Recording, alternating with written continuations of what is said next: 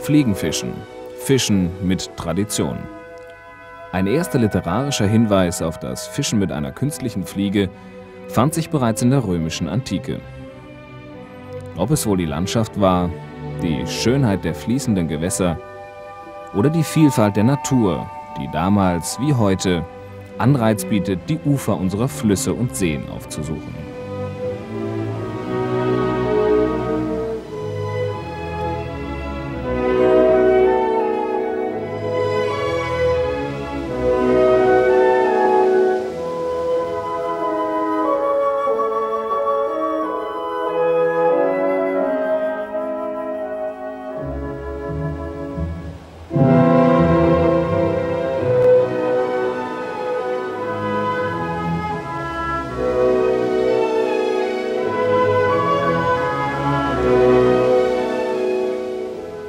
Es war im England des 17. und 18. Jahrhunderts. Die Entwicklung des Fliegenfischens blühte auf. Man machte sich Gedanken über neue, fantasievolle Fliegen und Wurftechniken, die nach wie vor zum Repertoire eines Fliegenfischers gehören. Dies alles hielt man fest in Büchern, die ihre Ausstrahlung und Kompetenz bis heute noch nicht eingebüßt haben. Man baute Routen aus massivem Eichenholz, was diese jedoch sehr unbeweglich machte. Später verlegte man sich auf Bambus und leichteres Holz. Die dreigeteilten Routen wurden an Anfang und Ende mit kunstvoll geschmiedeten Metallbeschlägen besetzt. Die Rolle liebevolle Intarsienarbeit. Das Gehäuse aus einem Stück gefertigt, eine bunte, fantasievolle Fliegenvielfalt.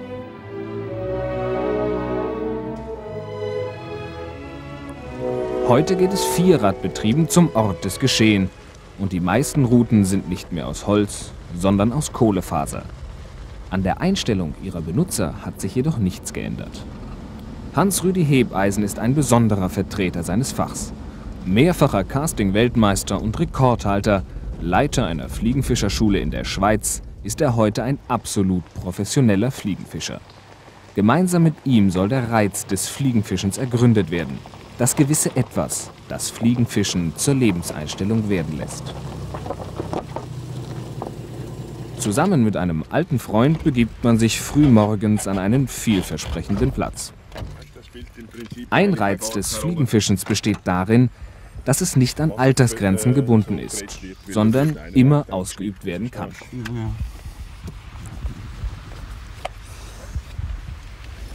Ein wichtiges Kleidungsstück ist die Weste.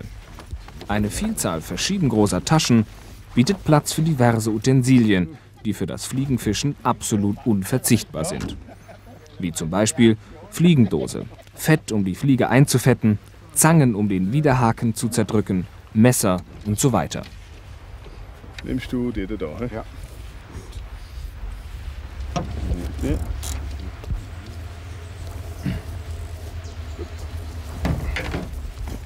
Nach der Auswahl der richtigen Angel geht es an den Fluss. Die Tös, ein Rheinzufluss in der Schweiz.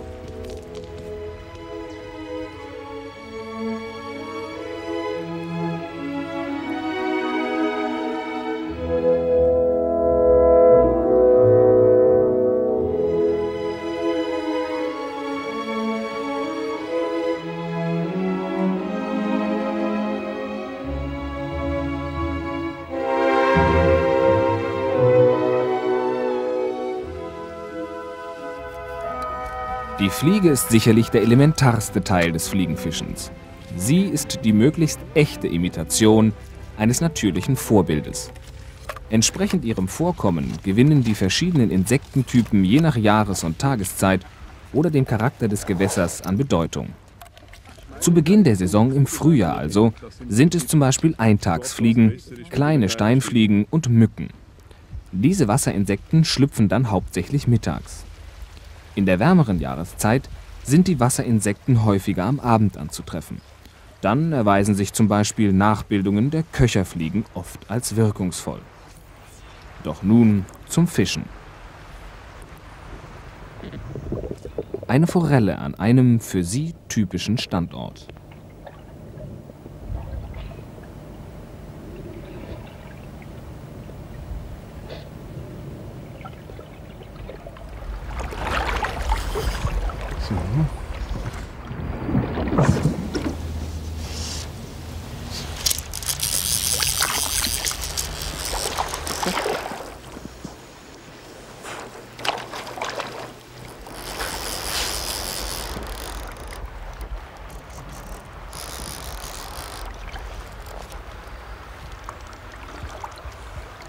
Diese Forelle hat nicht die erforderliche Größe.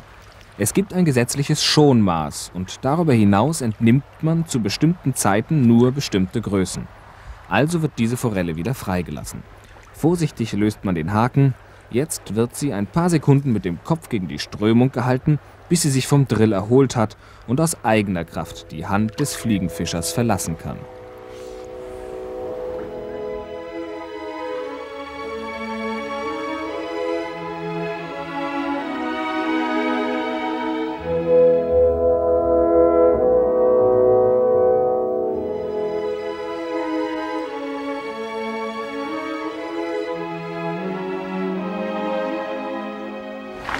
Wieder ein Anbiss.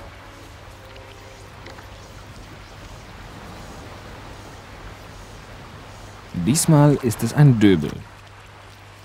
Er gehört zu den Weißfischen und lebt gesellig in den oberen Wasserschichten stehender oder fließender Gewässer. Besondere Vorliebe hegt er für die Uferzonen, wenn das Wasser flacher wird. Für den Fliegenfischer spielt dieser Fisch keine besondere Rolle.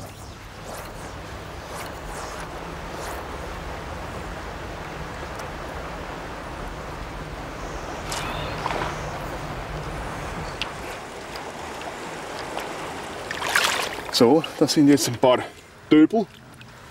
Die gehören in einem Gewässer, wo man die Salmonide will, also die Esche und die Forelle, gehören die Weißfische auf ein gewisses Maß dezimiert, denn wenn zu viele Weißfische in einem Gewässer sind, dann gehen die Eschen und die Forellen weg und das gehört halt auch zur Hege und zur Pflege eines Gewässers, zur Pflicht eines Fliegenfischers, solche Hegefänge zu betreiben. Abgesehen davon, dass man diese kleinen Döbel auch ganz gut essen kann. Doch zurück zu den Forellen. Auch sie stehen gerne im ufernahen Gewässer. Mit äußerstem Geschick wird hier die Kunstfliege serviert, um diese Salmonidenart aus ihrem Unterschlupf zu locken.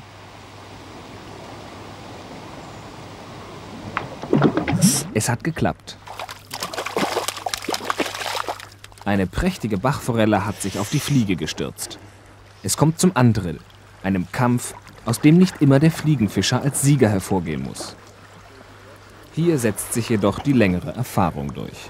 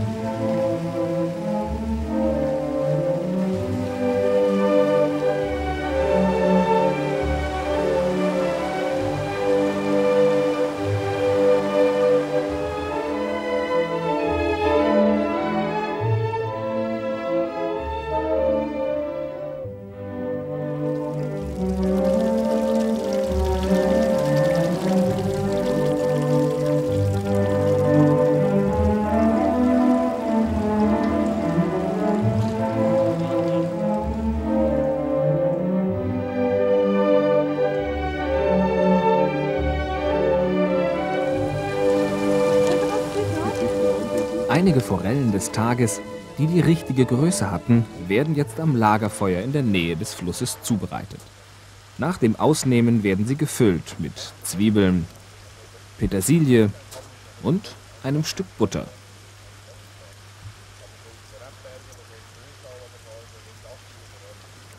Zur gleichen Zeit werden Steinpilze geputzt, die zu dieser Jahreszeit Saison haben. Wichtig für den Fisch die richtigen Gewürze.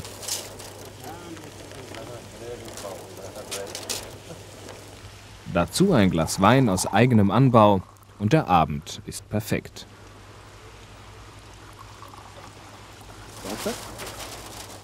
Die Forelle wird jetzt sorgsam in Alufolie eingepackt und auf das niedrige Feuer gelegt, um dort etwa 20 Minuten zu braten.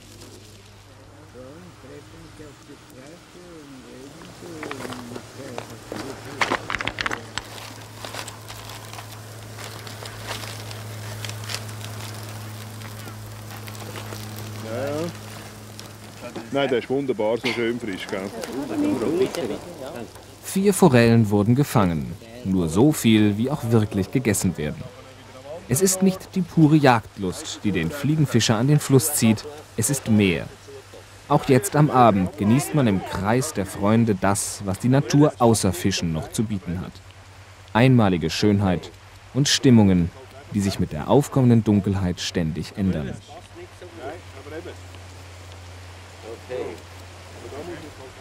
Nach dem Essen noch ein Lagerfeuer und die ein oder andere Anekdote aus einem bewegten Fischerleben.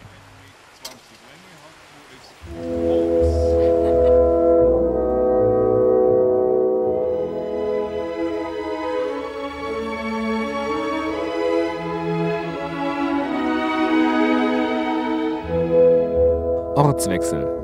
Der Almsee in Österreich. Der dazugehörige Fluss die Alm.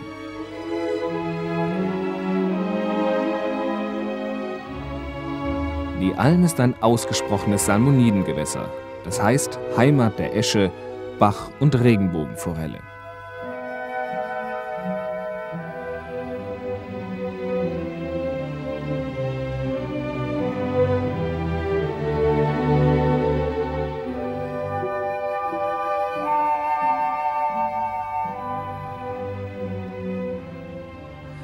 Neben der Forelle hat die Esche eine besondere Stellung bei den Fliegenfischern. Hat sie einmal angebissen, liefert sie ihm einen erbitterten Kampf.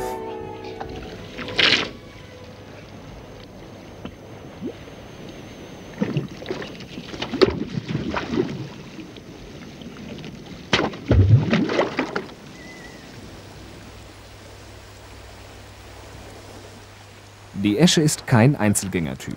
Der sensible Fisch schätzt Standplätze am Rande geschützter Felsen und Steine. Häufig findet man gute Eschenstellen in der Nähe ufernaher Ruhigwasserzonen, in kleineren Buchten und dort, wo flacher Grund ins Tiefe abfällt. Die Esche braucht mehr Sauerstoff als die Forelle.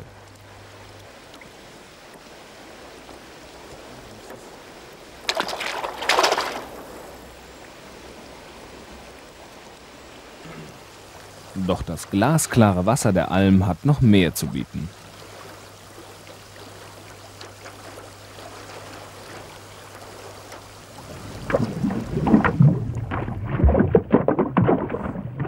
Eine wunderschöne Regenbogenforelle stemmt sich dem Fliegenfischer entgegen.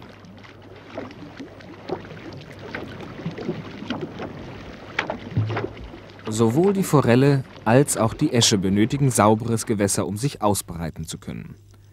Jedes Gewässer hat die Fähigkeit zur Selbstreinigung, solange der Mensch nicht störend eingreift.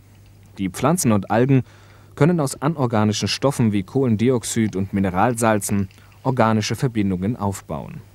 Abgestorbene Pflanzenteile setzen durch Vermodern mineralische Nährstoffe frei. Sie stehen dann für das Wachstum neuer Pflanzen zur Verfügung. Es entsteht ein dauernder Kreislauf der Stoffe.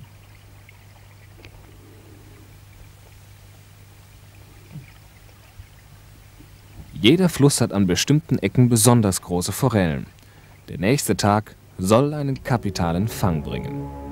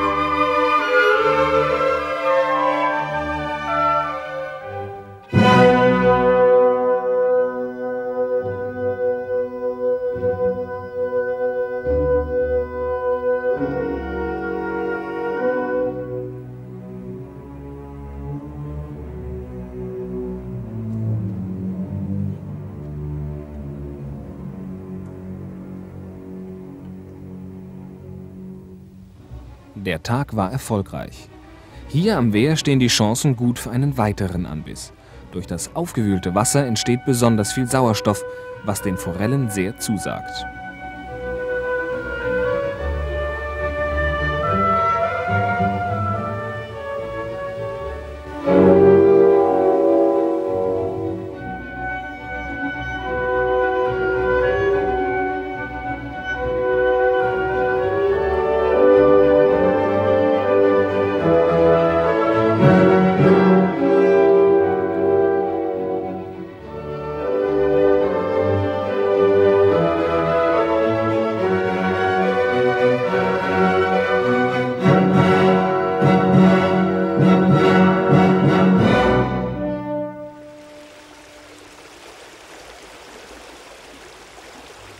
Zurück in der Schweiz und wieder trifft man Gleichgesinnte. Gleichgesinnt bedeutet nicht, dass es sich unbedingt um Fischer handeln muss. Es ist die Lebenseinstellung, die verbindet, die Einstellung zur Natur. Und das heißt nicht neben ihr zu leben, sondern mit ihr. Sich nicht nur von ihr zu nehmen, sondern helfen, ihr Gleichgewicht zu halten. Dies ist eine Lebenseinstellung.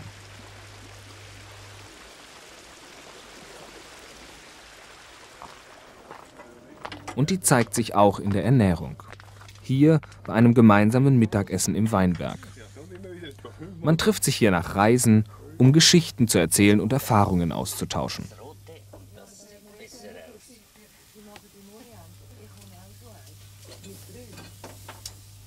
Das Fleisch aus eigener Haltung und selbst angebautes Gemüse sorgen für einen Genuss der besonderen Art.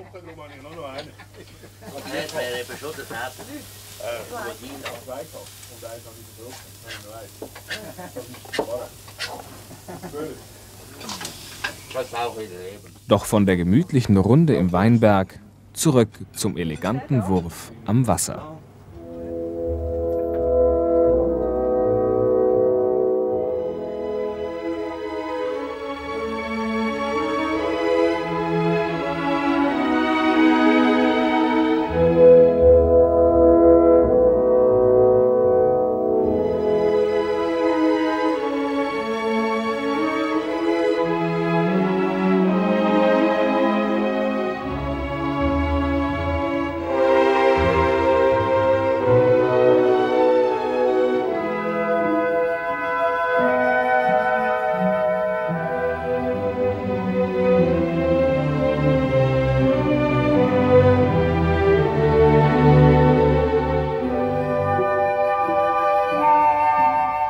Der Kühe über Wasser folgt die Pflicht unter Wasser. Grundlage für jeden Fliegenfischer ist das Wissen über die Biologie der Süßwasserinsekten. Nur wenn man Larven und Fliegen zuordnen kann, trifft man eine gute Wahl bei der Suche nach der richtigen Kunstfliege. Außerdem zeigen die Larven an, welche Güteklasse ein Gewässer hat und welche Fische sich darin aufhalten. Hier die Larve einer Steinfliege. Man trifft sie wie die meisten Larven unter Steinen oder wie hier unter altem Holz. Steinfliegenlarven haben ein hohes Sauerstoffbedürfnis und sind sehr empfindlich gegen Gewässerverschmutzung. Sie leben daher in sauberen und sauerstoffreichen Fließgewässern. Die Entwicklung vom Ei bis zum fertigen Insekt dauert je nach Größe ein bis drei Jahre. Die Larve der Eintagsfliege steht ebenfalls für gute Wasserqualität. In Europa gibt es über 200 Arten dieser für den Fliegenfischer sehr interessanten Fliege. Die Larven ernähren sich überwiegend vegetarisch vom Algenbelag der Steine und Wasserpflanzen sowie organischen Schlammteilchen. Köcherfliegenlarven findet man in fließenden und stehenden Gewässern. In der Salmonitenregion leben etwa 50 Prozent der Köcherfliegen und dort, wo sie leben, hat das Wasser Güteklasse 1. Die Larven passen sich an den Faktorenkomplex hohe Sauerstoffmengen bei starken Strömungen durch flache Köcher oder wie die hier freilebende Larve durch Netze und Sicherheitsfäden an. Ein sehr wichtiges Glied in der Nahrungskette unserer Gewässer bilden die Mücken. Sie erleben als Wasserinsekten verschiedene Entwicklungsstadien, hier das Larvenstadium. Man schätzt die Gesamtzahl ihrer Art auf ca. 80.000, eine Summe, vor der auch der Fachmann kapitulieren muss. Die Larve der Schlammfliege hat keine größere Bedeutung für den Fliegenfischer. Sie lebt an ruhig strömenden Stellen des Bachs, im Schlamm, Sand und zwischen Blättern. Wie auch die bisher genannten Larven ist sie ein Indikator für gute Wasserqualität. So viel von der Theorie, um vieles schöner ist die Praxis.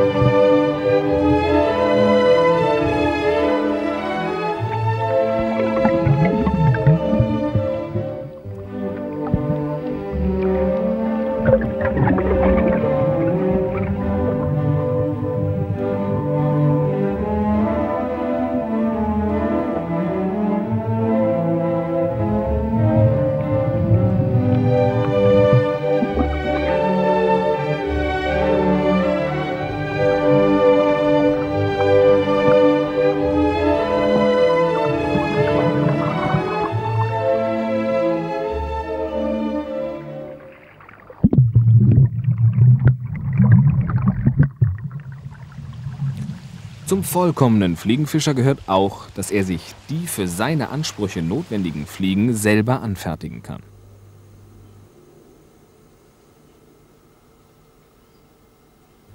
Die Fliege ist meistens eine Imitation eines natürlichen Vorbildes. Es wird versucht, die verschiedenen Stadien der unzähligen Insekten nachzuahmen. Zum Beispiel die Larve oder das gerade geschlüpfte Insekt oder das Insekt bei der Eiablage oder das sterbende Insekt auf der Wasseroberfläche. Es muss aber nicht immer ein real existierendes Insekt sein. Der Fantasie sind keine Grenzen gesetzt. Schon die Utensilien lassen keine Wünsche offen. Ob nun Gold oder Silberlametta, bunte Seide oder Wolle, Federn von den verschiedensten Vögeln, Hecheln, also Halsfedern, der buntesten Hähne, die exotischsten Tierfälle, die Vielfalt der Materialien ist unendlich.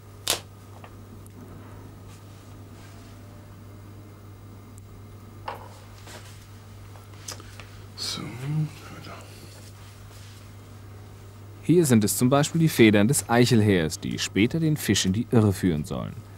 Die Population der Eichelheere steigt vielerorts über das normale Maß an. Auch hier sorgt der Mensch für ein Gleichgewicht, in dem die Zahl der Eichelheere dezimiert wird. Aus diesen Quellen kommt der Fliegenfischer zu seinem Material. In Amerika gibt es sogar spezielle Farmen, die ausschließlich Hähne züchten, deren Hecheln zum Binden von Fliegen verwandt werden. Der Fliegenfischer unterscheidet zwischen Trocken- und Nassfliege. Die Trockenfliege muss an der Oberfläche schwimmen und imitiert somit das eiablegende Weibchen oder das sterbende Insekt auf dem Wasser. Die Nassfliege sollte versinken und wird unter Wasser geführt. Sie stellt eine Larve am Grund bzw. im Aufstieg dar. Eine dritte Kunstfliegenart ist der Streamer. Beim Binden eines Streamers orientiert man sich kaum an der Realität, sondern kann seiner Fantasie freien Lauf lassen. Der Streamer ist wesentlich größer als Nass- oder Trockenfliege und eignet sich eher für größere Fische wie Lachse, Hechte oder Zander. Das Fliegenbinden gehört zum Fliegenfischen wie die Rute oder das Vorfach. Es bietet gerade in den kalten Wintermonaten, in denen man nicht mehr so oft an den Fluss geht, die Gelegenheit, etwas für seine Passion zu tun. Ein kleiner Vorrat an Fliegen für alle möglichen Fälle wird sich auch im nächsten Frühjahr sicher gut machen.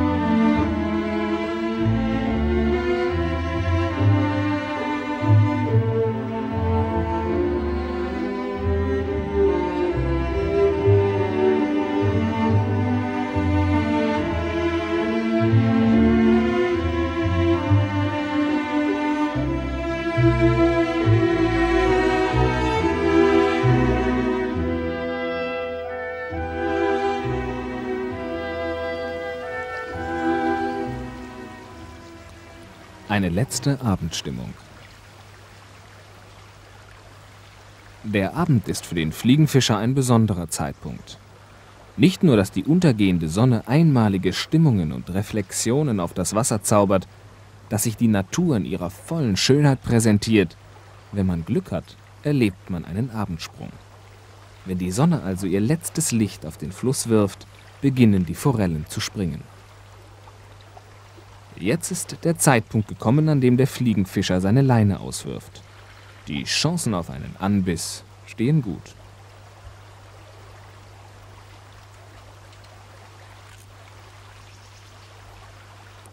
Aber ein Anbiss ist eben nicht das Wichtigste. Es ist vielmehr der Einklang mit der Natur, der Dialog mit ihr. Es entsteht ein Geben und Nehmen. Der Fliegenfischer hat eine große Verantwortung zu tragen. Würde man alle Gewässer willenlos befischen, ohne auf Schon- und Hegezeiten zu achten, würde man in jede Uferregion vordringen, nur um an die Standorte der kapitalen Fische heranzukommen, es würde diese Abendstimmung vielleicht nicht mehr geben. Und auch keinen Abendsprung.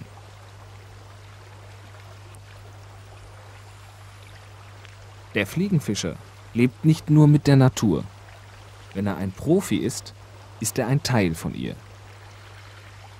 Für ihn ist Fliegenfischen eine Lebenseinstellung.